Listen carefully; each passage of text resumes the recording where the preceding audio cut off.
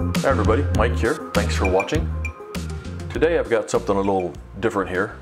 Instead of one of my videos where I've got cameras all over the ground, we're going to show you just a flight, just with the FPV camera, and that's it. No GoPro, uh, nothing else. So what you're looking at here is video from my 8-inch quad uh, taken the other weekend and we're flying the Sharkbyte, the HD Zero system and I finally got all the noise cleaned up in my system where it's looking pretty good and we're going to fly this out to about one mile and see what it looks like at one mile out. I'm using the uh, new HD Zero Runcam micro camera that has a 1 3rd inch sensor and I've swapped out the stock lens with the uh, Runcam RC25G it's uh, they're what they call a GoPro style lens. It's a uh, glass lens and uh, it's advertised at 2.5 millimeter uh, focal length, but that's sort of worthless uh, for comparing lenses. It's actually uh, a, a, a retro focus design lens. It's pretty long physically, but it shoots very wide. It's one of the widest angle coverages out there. The field of view is wider than your GoPro camera set on uh, wide, wide mode.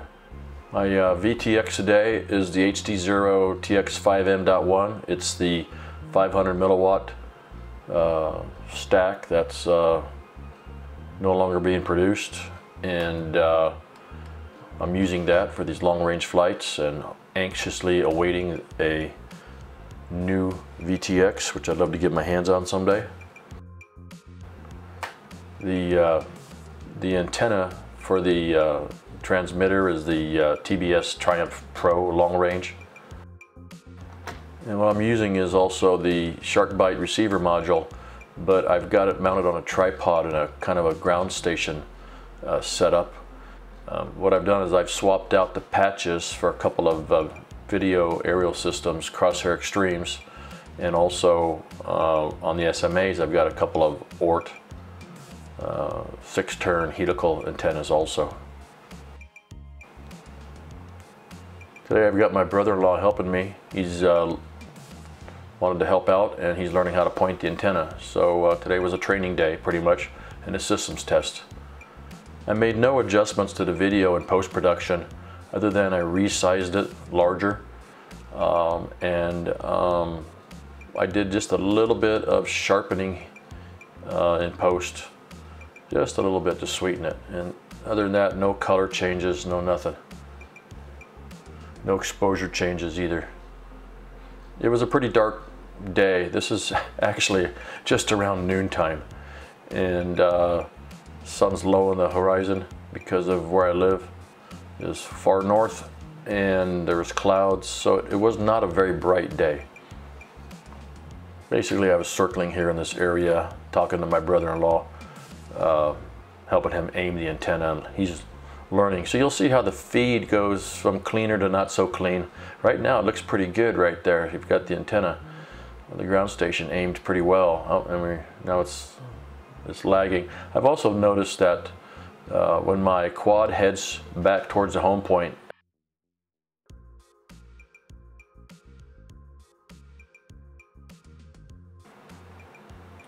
I was uh, just sort of uh, passing behind these trees once in a while on purpose just to see how the video transmission dropped out.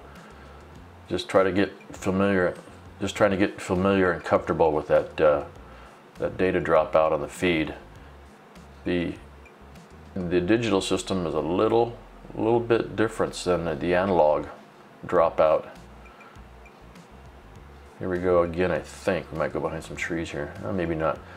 If, I feel as if um, analog was a little more forgiving when you went behind trees at distance. Um, but that's a trade-off for having a uh, higher resolution image.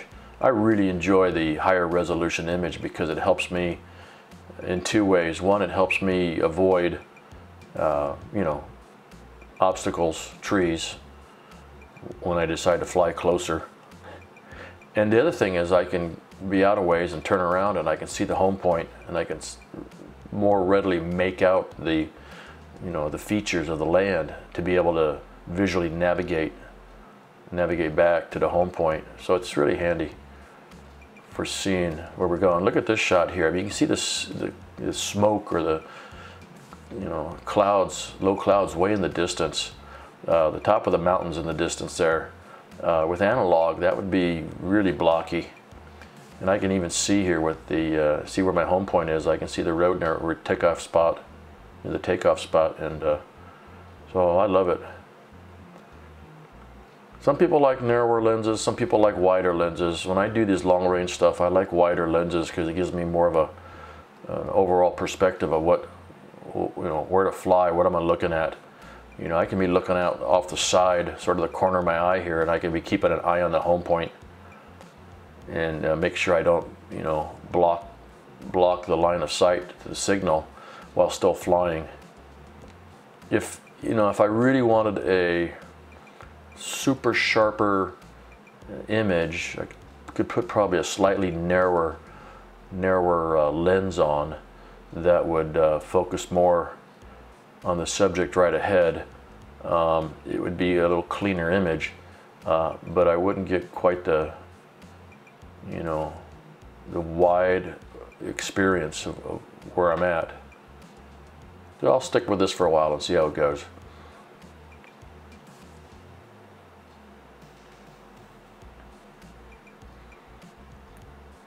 Basically, you know, I'm just flying around and uh, just collecting data to review it later. And uh, my helper on the ground is learning how to point the antenna. We're just working on our communications.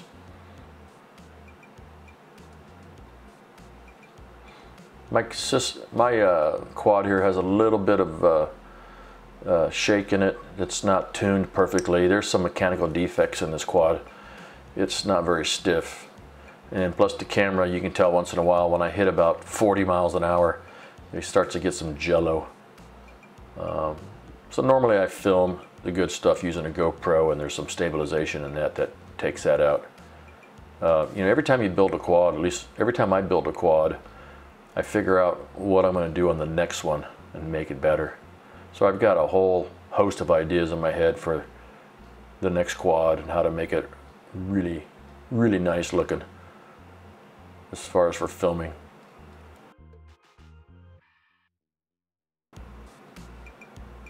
Heading straight into the sun. This sensor does a pretty good job of the sun in the sky. A little bit of lens flare here, obviously, but that's going to vary from lens to lens.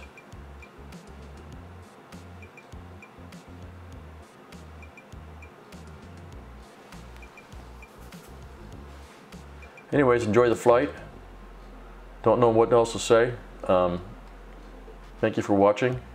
And uh, I've got another video you can check out that compares um, this lens on this camera to a nano size camera, the Runcam Nano HD MIPI camera for SharkByte, and also a good lens on that, and compares the two. Uh, take a look for that, that link and check that out if you're trying to decide whether to go with a micro camera or a nano sized camera.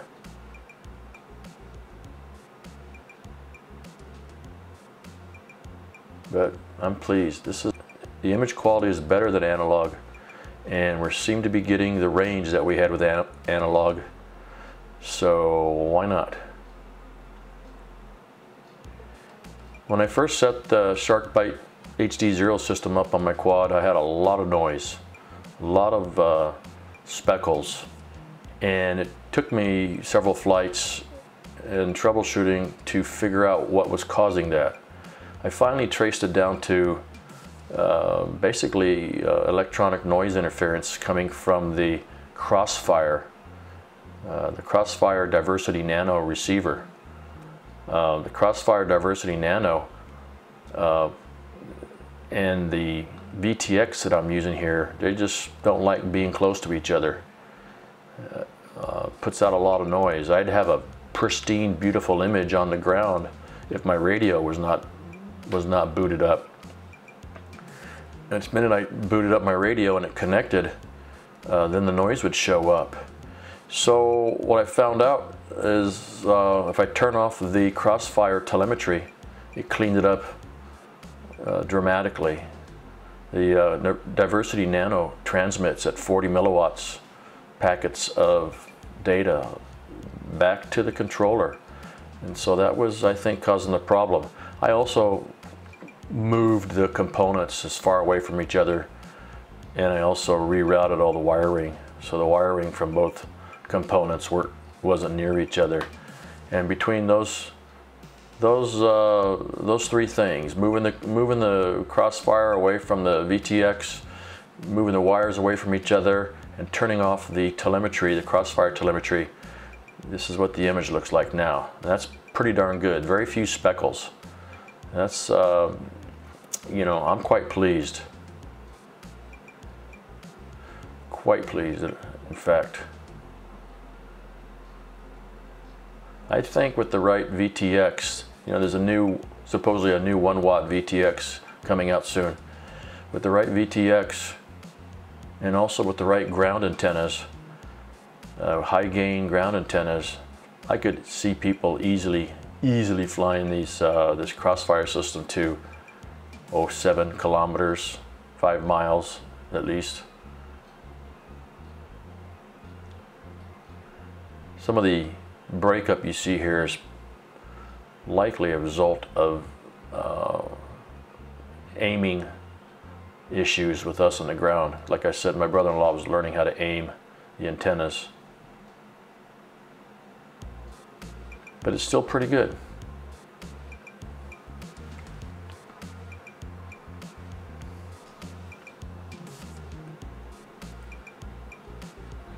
The, the quad I'm flying has a custom-made lithium ion battery pack that is rated at 6,000 milliamp hours. It's actually rated, it's actually in the specs it says it's good to 6,200, um, but I just call it 6,000, uh, 6,000 milliamp hours. And um, I like to fly it no more than 5,200. Um, but that, that pack is heavy. It's half the weight of the whole the whole quad. It's around 650 grams. The quad weighs around 600, 650 grams with the GoPro on it.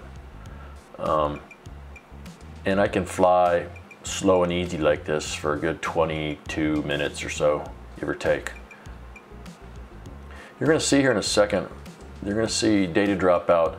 Uh, this little hill at the right, just uh, below the altimeter, uh, where the trees are, I'm gonna go low here and that's gonna, some of those trees are gonna block the line of sight and you'll see the, the video feed briefly break out right about here. Watch this right about now.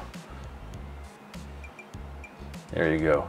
That, those trees down low bro, uh, uh, blocked the line of sight signal and, uh, and that was it. So you gotta watch out for that when you're flying this thing. Flying behind obstacles and trees. You're gonna lose your signal once in a while. And that's part of what I'm learning is how to deal with that mentally. And uh, over time, I'll get more aggressive with my flying. Fly lower and faster.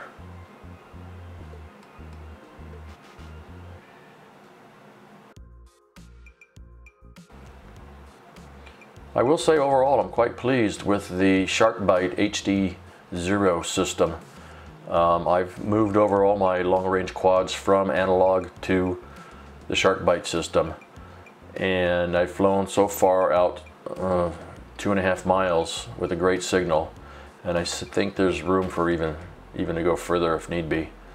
Um, the key is to have really good ground antennas.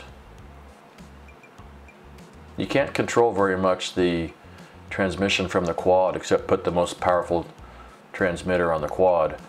But the problem you have is you've got a omnidirectional antenna on the quad. So most of the energy that the quad is transmitting is being wasted. It's going all different directions. Only a small sliver, only a small percentage is actually being picked up by the ground. So if you really want to push your range, what you really, need to do, you know, besides maximizing your, your VTX, of course, but you really need to invest in antennas on the ground that can pick up a very weak signal. And that's what I've been experimenting with lately is larger, bigger, higher gain ground station antennas. Anyways, got any questions, post them in the comments. Thanks for watching, really appreciate it.